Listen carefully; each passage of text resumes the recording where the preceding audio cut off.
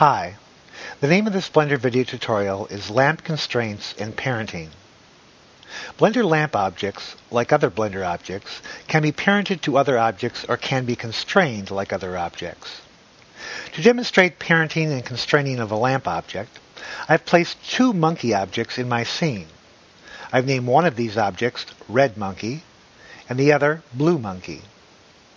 I'm going to go to Top View and add a Blender Spot Lamp object. I'll name this spot lamp object Red Monkey Spot.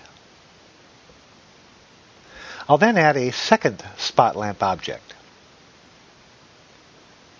And I'll name this spot lamp object Blue Monkey Spot. I'll go to front view and raise the red monkey spot up a bit and rotate it toward the red monkey object.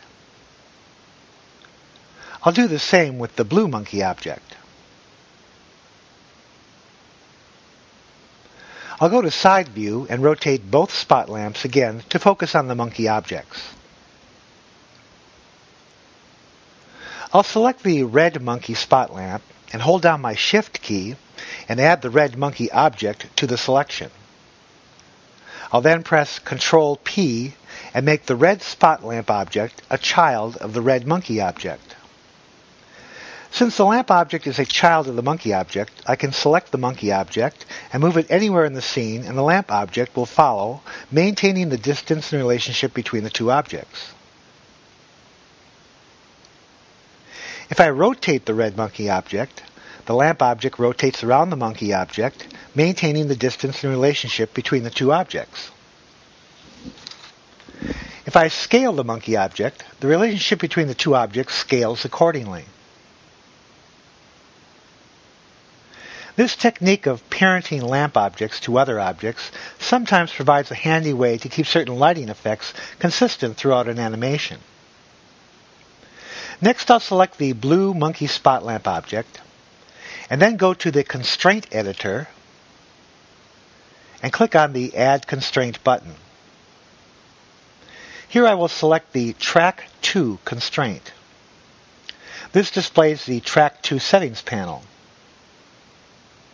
I will click on the Target Object box and select the blue monkey object. Notice that the spot lamp is now pointed away from the blue monkey object. But there is a dotted line between the two which indicates that there is a constraint relationship between the two objects. With regards to constraints and parenting, Blender lamp objects function much like other Blender objects.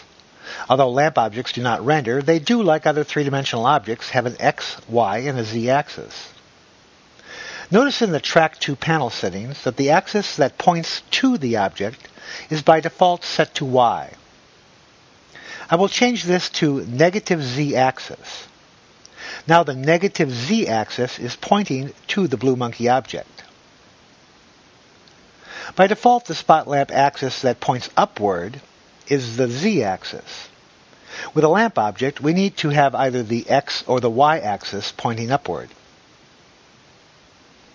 With the Track To constraint applied to the spot lamp object, I can now select the blue monkey object, and wherever I move the monkey object, the spot lamp object will continue to point to the monkey object.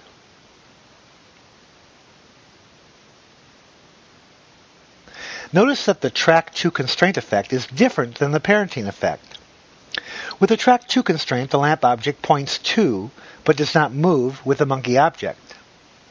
With parenting, the child lamp object moves with the parent object.